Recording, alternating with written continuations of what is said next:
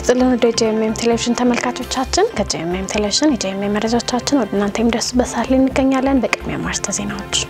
በሐረር የወንጌል አማኞች በአንድነት የምስራቹን ወንጌል በመስበክ የትንሣኤ በዓልን አከበሩ። የስቅለትና የትንሣኤ መታሰቢያ ፕሮግራም በሐዋሳ ሙሉ ወንጌል ቤተ ክርስቲያን ተካሄደ። የትንሣኤ በዓልን ምክንያት በማድረግ የወንጌል ስርጭት ፕሮግራም ተደርጎ 65 ወገኖች ጌታ ኢየሱስን መቀበላቸው ተገለጸ። የጋራ የትንሣኤ በዓል አከባበር በጂንካ ከተማ የሚገኙ አማኞችን አንድ አደረገ ተባለ። ከውጭ በደቡብ አፍሪካ ከተደረመሰ ሕንፃ ውስጥ 11 ሰራተኞች በሕይወት መገኘታቸው ተዘገበ። መረጃዎቹን የሱስና እያስ ወደ እናንተ እያደረስኩኝ አብራችሁ ቆይታ አድርጋለሁኝ። አብራችሁን ሁኑ። የሐረር ወንጌላውያን ቤተ ክርስቲያናት ህብረት የትንሣኤ መታሰቢያ በዓል ምክንያት በማድረግ የልዩ የምስጋና ፕሮግራም አካሂደዋል። ፕሮግራሙ እንደተናገረ ተነስቷልና በዚህ የለም የተኛበትን ስፍራ ኑና እዩ ማቴዎስ 28 ቁጥር 6 መሰረት በማድረግ ተነስቷል በሚል ተካሂዷል። እንዲሁም በሐረር የሙሉ ወንጌል አማኞች በአንድነት የምስራቹን ወንጌል በመስበክ የትንሣኤውን በዓል በታላቅ ድምቀት በጋራ በመሆን አክብረዋል። በተጨማሪም ምእመኑ በጎዳናዎች ላይ በጋራ መዝሙር በመዘመርና የእግዚአብሔር ቃል በታላቅ ድምፅ በማሰማት በልዩ ሁኔታ በዓሉን አክብረውታል። በመጨረሻም በሎህ የተገኙ ወንጌላውያን ለዚህ ቀን ላደረሳቸው ለታላቁ እግዚአብሔር ምስጋናቸውን አቅርበዋል። በሐዋሳ ሙሉ ወንጌል አማኞች ቤተክርስቲያን የስቅለትና የትንሣኤ መታሰቢያ በዓል በታላቅ ድምቀት ተካሂዷል። ባልደረባችን ተመስገን መንግስቱ ዝርዝሩ እንደሚከተል ያቀርበዋል። የጌታችን የመድኃኒታችን የኢየሱስ ክርስቶስ የስቅለት መታሰቢያ ፕሮግራም በሐዋሳ ሙሉ ወንጌል አማኞች ቤተክርስቲያን አርብ ሚያዝያ 25 ቀን 2016 ዓ.ም በጸሎት በዝማሬ የእግዚአብሔርን ቃል በመካፈል እንዲሁም የጌታን መታሰቢያ ራት በጋራ በመውሰድ በአንድ መንፈስ በጋራ አምልኮ ተከብረዋል። በሐዋሳ ሙሉ ወንጌል ቤተክርስቲያን ከሚያዝያ 21 ቀን 2016 ዓ.ም የጀመረው የጸሎትና የጾም ጸሎት ፕሮግራም የስቅለት ቀን ፍጻሜውን ያገኘ ሲሆን በምስጋና በንስሐና በልመና ርዕሶች ቅዱሳን የኢየሱስ ክርስቶስ ፍቅር በማሰብ በእንባ ወደ እግዚአብሔር ጸልየዋል።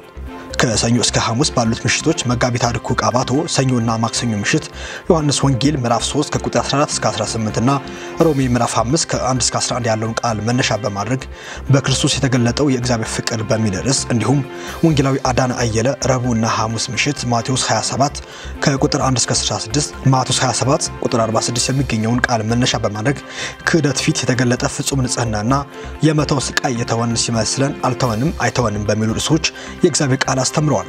በፕሮግራሙ መጨረሻ ላይ የቤተ ክርስቲያኒቱ አባላት በአንድነት የጌታን እራት ወስደዋል። የጌታን እራት መታሰቢያን ፕሮግራም የመሩት መጋቢ ተሾመ ወርቆ ሲሆኑ ከመጽሐፍ ቅዱስ ሉቃስ 22 ከቁጥር 14 እስከ 20፣ አንደኛ ቆሮንቶስ ምዕራፍ 5 ቁጥር 7 እና አንደኛ ቆሮንቶስ ምዕራፍ 11 ከ23 እስከ 24 ያሉትን ክፍሎችን በማንበብና በመጸለይ ፕሮግራሙን አካሂደዋል። እንዲሁም የስቅለት መታሰቢያ የአምልኮ ፕሮግራም ላይ መጋቢ ተስፋዬ ጋቢሶ ሮሜ ምዕራፍ 5 ከ1 እስከ 10 ያለውን የመጽሐፍ ቅዱስ ክፍል መነሻ በማድረግ ታላቁ እርቅ በሚል ርዕስ የእግዚአብሔርን ቃል አካፍለዋል። በተመሳሳይ ዜና የጌታችን የመድኃኒታችን የኢየሱስ ክርስቶስ የትንሣኤ መታሰቢያ ፕሮግራም በሐዋሳ ሙሉ ወንጌል አማኞች ቤተክርስቲያን እሁድ ሚያዝያ 27 ቀን 2016 ዓ.ም በጸሎት በዝማሬ የእግዚአብሔርን ቃል በመካፈል ትንሣኤን በማሰብ በታላቅ ደስታና አምልኮ ተከብረዋል። በትንሣኤ መታሰቢያ የአምልኮ ፕሮግራም ላይ መጋቢ ሰለሞን ጃቢር አንደኛ ቆሮንቶስ ምዕራፍ 15 ከቁጥር 20 እስከ 22 ከ55 እስከ 57 ያለውን የመጽሐፍ ቅዱስ ክፍል መነሻ በማድረግ የክርስቶስ የትንሣኤ ውጤት በሚል ርዕስ የእግዚአብሔርን ቃል አካፍለዋል።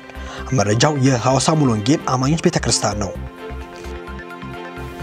የትንሣኤ በዓልን ምክንያት በማድረግ የወንጌል ስርጭት ፕሮግራም ተደርጎ 65 ወገኖች ጌታ ኢየሱስን መቀበላቸው ተገለጸ። ቅዳሜ ሚያዝያ 26 ቀን 2016 ዓ.ም የትንሣኤ ዋዜማ ከማለዳው አራት ሰዓት ጀምሮ ብርሃነ ወንጌል መጥምቃውያን ለም ሆቴል አጥቢያ ቤተክርስቲያን ከአድማስና ከያሜድ ክርስቲያን ተማሪዎችና ተመራቂዎች ህብረት ጋር በጋራ በመያያዝ በመገናኛ ለም ሆቴልና 22 በጎዳና ለሚኖሩ ወንድምና እህቶቻችን የተዘጋጀ የወንጌል ስርጭት ማዕድንና አልባሳትን የማጋራት ፕሮግራም ተካሂዷል። በአንድ ለአንድ በነበረን የወንጌል ስርጭት ከ120 የሚበልጡ በጎዳና የሚኖሩ ወንድምና እህቶቻችን የምስራቹን ቃል የሰሙ ሲሆን ከነዚህ መካከል 65 አዲስ ነፍሳቶች ወደ እግዚአብሔር መንግስት ተጨምረዋል። ወንድም መሀሪ ተስፋዬ እንደላከልን መረጃ ከሆነ እነዚህ የዳኑ ነፍሳቶች የፊታችን ሮብ ማለትም ሚያዝያ 30 ቀን 2016 ዓ.ም የደህንነት ትምህርታቸውን ብርሃነ ወንጌል መጥምቃውያን መገናኛ ለም ሆቴል አጥቢያ ቤተክርስቲያን ይጀምራሉ ተብሏል። የጋራ የትንሣኤ በዓል አከባበር በጂንካ ከተማ የሚገኙ አማኞችን አንድ አደረገ ተብሏል።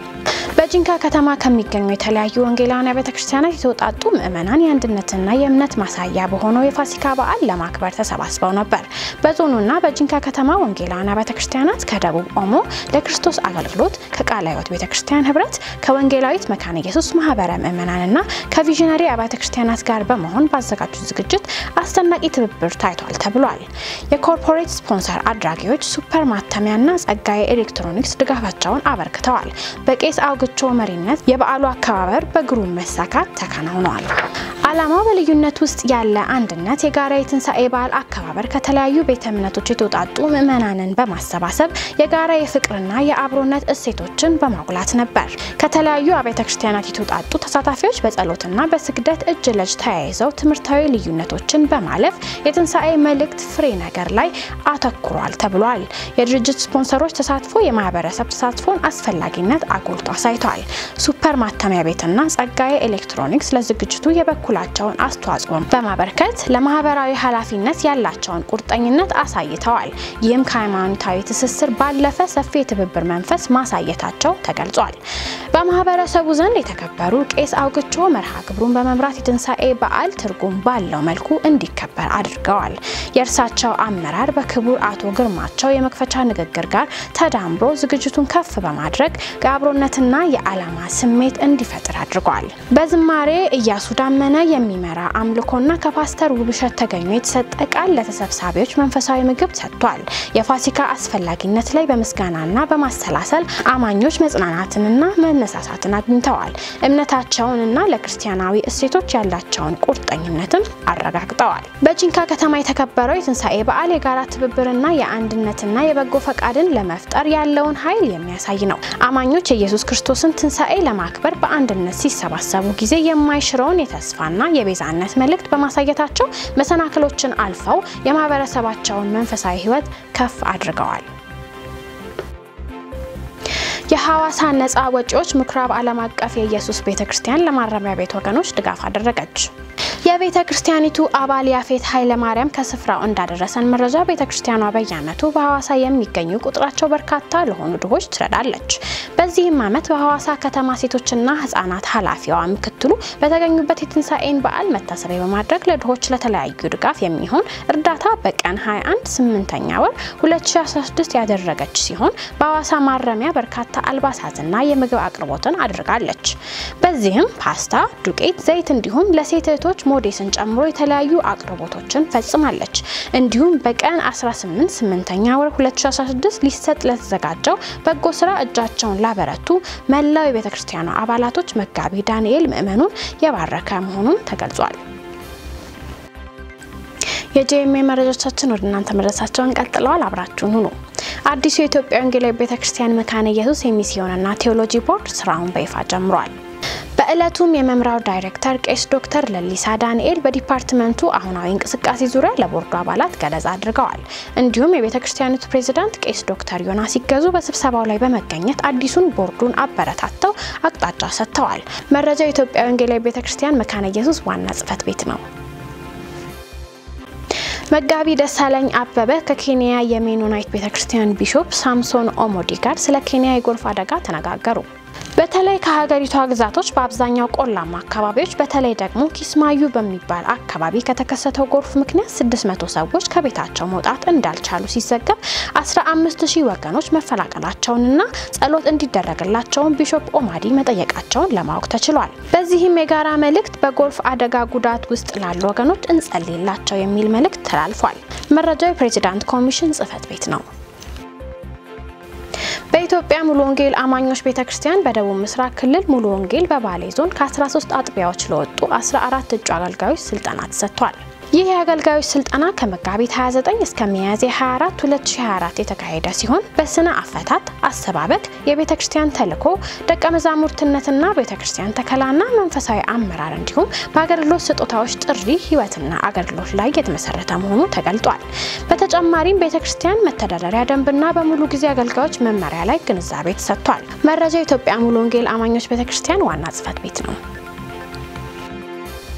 የኢትዮጵያ ወጣት ክርስቲያን ማህበር የቀደሙና ስለ ወንጌል ዋጋ እየከፈሉ ያሉ አባቶችን እናስብ በሚል መርሃ ግብር የስጦታና በጎዳና ለወደቁ ወገኖች ማዕድ የማጋራት ፕሮግራም ተካሄደ። ባልደረባችን ታምራት ሞቴ ያዘጋጀልን ዘገባ እንደሚከተለው ይቀርባል። የቀደሙና ስለ ወንጌል ዋጋ እየከፈሉ ያሉ አባቶችን እናስብ በሚል መርህ የኢትዮጵያ ወጣት ክርስቲያን ማህበር የፋሲካ በዓልና ተቋሙ የተመሰረተበትን 20ኛ ዓመት አስመልክቶ ከ53 ዓመታት በላይ ወንጌልን በታማኝነትና በትጋት እያገለገሉ የሚገኙትን የኢትዮጵያ ወንጌላውያን አብያተ ክርስቲያናት ህብረት ፕሬዝዳንት የሆኑትን መጋቢ ጻድቁ አብዶን በመጎብኘት ስጦታ አበርክቷል። ይህን ተግባር ለማከናወን ያነሳሳቸውን ምክንያት የኢትዮጵያ ወጣት ክርስቲያን ማህበር ፕሬዝዳንት የሆነው apostle ሳሙኤል ሲገልጽ ሁላችንም በያለንበት ስፍራ ወንጌልን በፍቅርና በትጋት የሚያገለግሉ ምሳሌ የሚሆኑ አባቶችን በምናገኘው አጋጣሚ ሁሉ ያለንን ፍቅርና አክብሮት በመግለጥ ለበለጠ በጎ ተጽዕኖ እንዲፈጥሩ ምክንያት እንድንሆናቸው ነው ሲልም ተደምጧል። ይህም ተግባር በተቋሙ በቀጣይ በሚሊኒየም አዳራሽ ጋር ተያይዞ በሚደረገው ክብረ በዓል ምሳሌ የሚሆኑ አባቶችን ለማበረታታት ዝግጅት እያደረገም እንደሚገኝም አያይዞ ገልጿል። በዚህ የፋሲካ መታሰቢያ ፕሮግራም ላይም ከተደረገው ለአባቶች የስጦታና የጉብኝት መርሃ ግብር ባሻገር በጎዳና የወደቁ ወንድሞችና እህቶችን የማሰብና ማዕድ የማጋራት ፕሮግራምም ተከናውነዋል። በቀጣይም በሚሊኒየም አዳራሽ ሊደረግ ስለተገባው ፕሮግራምም ቅዱሳን እንዲጸልዩና ከጎናቸው እንዲቆሙ apostle ሳሙኤል ጥሪውን አቅርበዋል። የጂኤምኤ መረጃዎቻችን እንደቀጠሉ ናቸው። አሁን ደግሞ ከውጭ ወዳገኘናቸው መረጃዎች እናልፋለን። በደቡብ አፍሪካ ከተደረመሰ ህንፃ ውስጥ 11 ሰራተኞች በህይወት መገኘታቸው ተሰምተዋል። በደቡብ አፍሪካ ጆርጅ ከተማ በግንባታ ቦታ ላይ የነበረ ግዙፍ ፎቅ ህንፃ የተደረመሰ ሲሆን 75 ሰዎች እዚያ እንደነበሩ ተገልጿል። በዚህ ፍለጋም አነፍናፊ ውሾችን ጨምሮ የነፍስ አድን ኃይሎች ተሰማርተዋል ተብሏል። እስካሁን 11 ሰዎች በህይወት እንደተገኙ የተነገረ ሲሆን በአንጻሩ በአደጋው የሰባት ሰዎች ህይወት ማለፉ መረጋገጡን የዘገበው አፍሪካ ኒውስ ነው። በአሁኑ ወቅት በፍርስራሹ ውስጥ የሚገኙት ከ30 በላይ ሰዎችን ለማዳን ሙከራ እየተደረገ እንደሆነም ነው የተነሳው። ሆኖም አደጋው ካደረሰው ከባድ ጉዳት አንጻር የሟቾች ቁጥር ሊጨምር እንደሚችል ተጠቁሟል። በእስራኤልና ሐማስ መሀል የሚፈጠረው የተኩስ አቁም ስምምነት እየተጠበቀ ነው ተባለ። የሰሞኑ ዜናዎች እንደሚጠቁሙት ሐማስ የስምምነቱን ሀሳብ እንደተቀበለ ሲሆን ይኸውም የእስራኤል ወታደራዊ ባለስልጣናት ከመቶ ሺህ በላይ ሰዎች ከምስራቅ ራፋህ እንዲወጡ ካሰባሰቡ በኋላ መሆኑ ሲዘገብ ቆይቷል።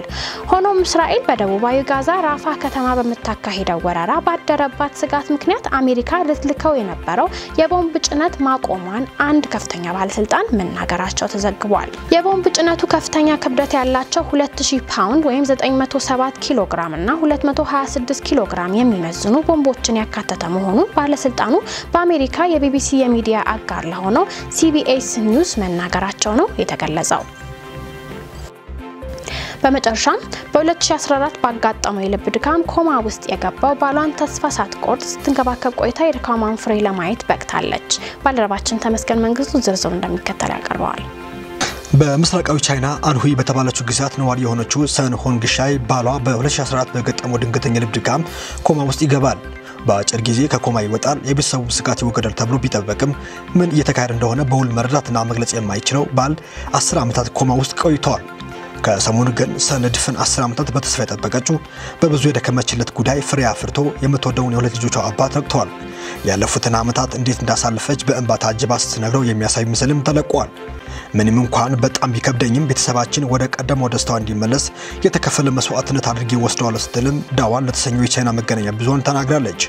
የሰን ባል ረዥም ዓመታት ኮማ ውስጥ መቆየቱን ተከትሎ የሚስቱ ድጋፍ እጅግ ወሳኝ ነበር። የሰውነት አካሉን ማዘዝ ስለማይችል አይንቀሳቀስም። ይህም ካለ ሚስቱ ድጋፍ መጸዳትን እንኳን እንዳይችል አድርጎታል።